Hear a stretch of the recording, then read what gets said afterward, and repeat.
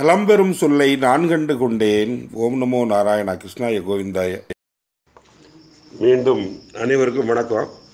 தனித ம தனி மனித ஞானத்திற்கு சிறப்பை தருவது மனமா அறிவா? பட்டிமன்றம். இதில் வந்து மனம்ங்கிற அணியில் ஒரு ஆறு பேர். அறிவுங்கிற அணியில் நான் ஆறு பேர்.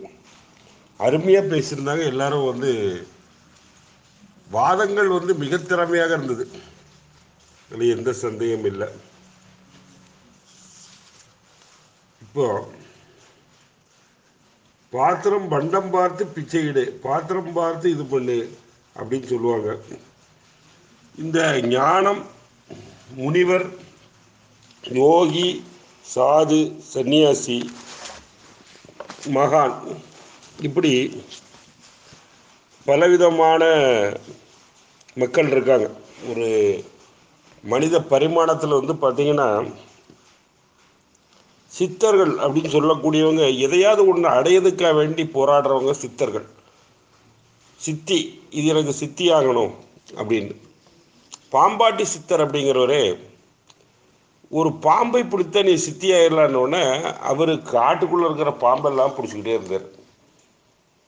ஆனால் மனதுக்குள்ளே இருக்கிற குண்டலினி அப்படிங்கிற பாம்பை நீ பிடிக்கணும் அப்படின்னு சொல்லி அவருக்கு தெரியறதுக்கு முன்னால் அவர் பாதி காட்டையே அழித்து விட்டார் அப்படிங்கிறது தான் அவர் பாம்பு பிடிக்கிறனால பாம்பாட்டி சித்தராடினார்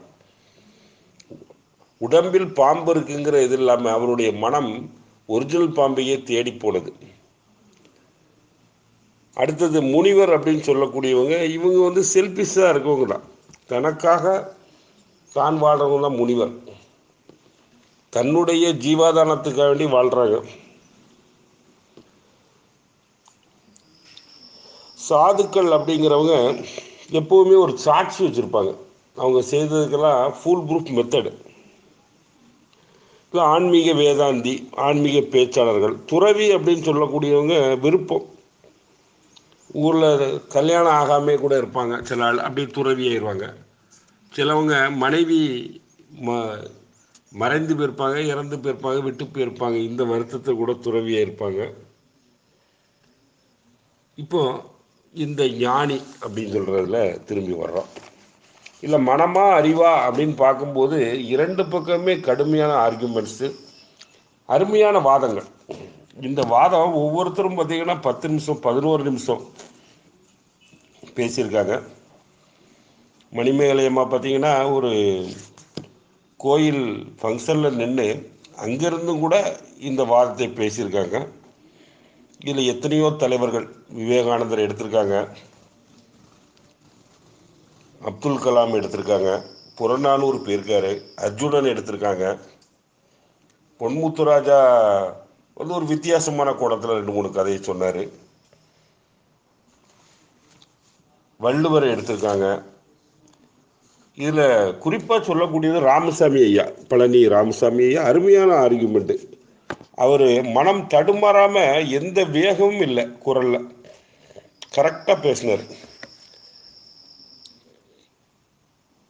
அம்சவல்லி அம்மா மயிலாடுதுறை. அவங்க வந்து பார்த்தீங்கன்னா அந்த மனம் பற்றி தெளிவாக பேசினாங்க. குளுந்தான் ஐயா. குளுந்தான் ஐயா மனம் பற்றி ஒரு ஆராய்ச்சியே பண்ணிட்டார். ஒரு ரிசர்ச்சே பண்ணி அதை சப்மிட் பண்ணிட்டார். பி கே ஹரிகரன் ஐயா அவர் மனம் வந்து வேகமாக ஓடுது. அவர் கிட்டத்தட்ட ஆறு ஆடியோ போட்டார் மனமே ஒரு குரங்கு அப்படின்னு ஒரு பாட்டு. இப்போ பாடுவார்னு எதிர்பார்க்கப்பட்ட மடத்துக்குளம் ஐயா வந்து பாட முடியல. அதை தீர்க்கும் விதமாக ராமசுப்ரமணிய பாடல் வரிய வாசிட்டு போயிருக்காரு. சேலம் சதாசிவம் ஐயா தன்னுடைய வாதங்களை எடுத்து வச்சிருக்காரு. ஞானி விஞ்ஞானி மெய்ஞானி அப்படின்னு சொல்லி. அதாவது மனம் அப்படின்னு சொல்லக்கூடியது மாறிக்கொண்டே இருக்கக்கூடியது அப்படின்னு சொல்கிறோம் மனம் இருந்தால் தானே அறிவு இருக்கும் அப்படின்னு ஒரு இது. அறிவில்லாத ஒரு ஸ்நேகம் அதிக உத்தமம். இப்போ குற்றாலீஸ்வரன்னு ஒரு இளைஞன். அவனை வந்து கடலை கடந்து ஒரு பயணம் போகிறான் அந்த கடலை கடந்து பயணம் போகிறதுக்கு கடலில் வந்து இந்த இடத்துல சுறா மீன் வரும் இந்த இடத்துல ஆழம் இருக்கும் இந்த இடத்துல ஆழம் இல்லை அப்படிங்கிற அறிவு அவனுக்கு இருக்குமா? புயல் வரும் பூகம்பம் வரும் பயணத்தில் கிடையாது. அவனுடைய மனம் இந்த கடலை கடக்கணும் அப்படின்னு அந்த குட்டாலீஸ்வரன் அப்படிங்கிறவர் அவருடைய மனம் வேலை செஞ்சதுனால அவர் கடந்து விட்டார். அப்படின்னு சொல்லலாம். இந்த பிர்போல் அப்படின்னு சொல்லி ஒருத்தர் அவர் வந்து பீர்பால் அப்படின்னு நம்ம அழைக்கிறோம். அவர் ஒரு ஜோதிடர். பீர்பால் அப்படின்னு சொல்லக்கூடியவர் பிர்போல் அதாவது வருங்காலத்தை உரைப்பவர் அப்படிங்கிற அர்த்தத்தில் பேசக்கூடியவர். அவர் அக்பர் அரண்மனை நடந்து கொண்டிருக்கும் போது அவர் நம்மை போல ஒரு பார்க்கில் இருந்து அவர் ஜோதிடம் பார்த்துருந்தார் அந்த காலத்தில். ஜோதிடம் பார்த்துட்டு இருந்தார் அப்போ அரண்மனையிலே ஒரு காவலாளி ஒருத்தன் அவருக்கு சிநேகிதமாயிருக்கான் தினமும் அந்த பார்க் வழியாக அந்த க காவலாளி செல்வான். செல்லும்போது அவன் அரண்மனையில் ஒரு செல்வாக்கு மிக்கவன் அப்படின்னு சொல்லி தெரிஞ்சு கொண்ட பீர்பால் அது ஃபிர்போல் போல் அப்படின்னா சொல்கிறது ஃபிர் அப்படின்னா பின்னால் அப்படின்னு அர்த்தம் வச்சுக்கோங்க. அப்போ பீர்பால் என்ன பண்ணுறாரு அவர் கூட நெருக்கமான பழக்கம் வச்சுருக்காங்க. ஒரு நாள் அவர் அழுது கொண்டே அந்த பார்க்கை தாண்டி போகிறார் அப்போ பீர்பால் கூப்பிடுறார். ஐயா என்ன உங்களுக்கு பிரச்சனை? அப்படிங்கும்போது அவர் மகாராஜாவுக்கு மதியானம் சாப்பிட்ட உடனே வெத்திலையில் சுண்ணாம்பு வச்சு கொடுப்பேன்.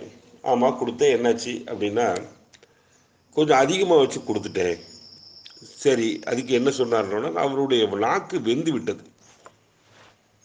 அப்போ அவர் அந்த கோபத்தில் என்ன சொல்லியிருக்காருன்னா அடுத்த நாள் இவரை வந்து ஒரு அரை கிலோ சுண்ணாம்பை சாப்பிட சொல்லிட்டார். அரை கிலோ சுண்ணாம்பு ஒரு மனிதன் சாப்பிட்டு அவன் வாய் வெந்தில் போகும். என்ன பண்ணுறேன்னு எனக்கு தெரியல அப்படின்னு அழுகிறார். அப்போது பீர்பால் அவருக்கு ஒரு ஐடியா சொல்கிறார் இந்த ஐடியாவை நீ செயல்படுத்தினு நீ இந்த பீர்பாலின் அறிவு திறன் என்ன விட்டது அடுத்த நாள் போனோடனே அக்பர் மறக்கவில்லை.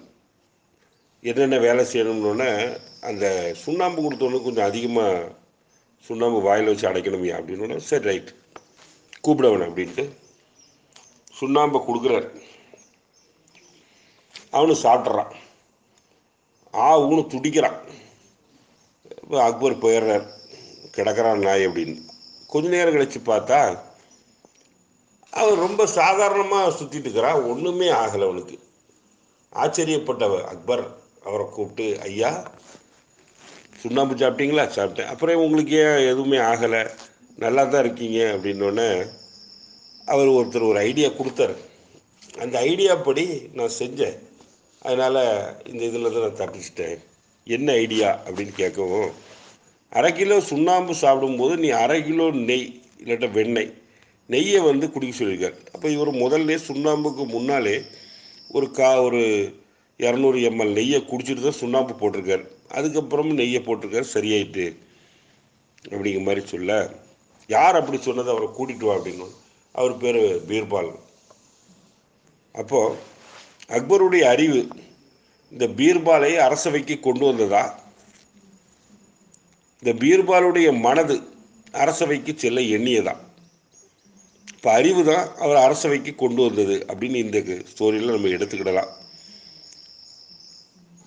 அடுத்த பதிவுக்கு வரேன் தொடர்ந்து வான்கோவின் ஓவியம் சேகுவாரா பற்றி சதீஷ்குமார் ஜெயின் பற்றி மனமா அறிவா பட்டிமன்றம் அப்படிங்கிற பிளேலிஸ்ட்டில் இந்த தீர்ப்புரையை வணங்கியிருப்பேன். அனைத்தையும் நீங்கள் படித்து மகிழுங்கள். நன்றி வணக்கம்.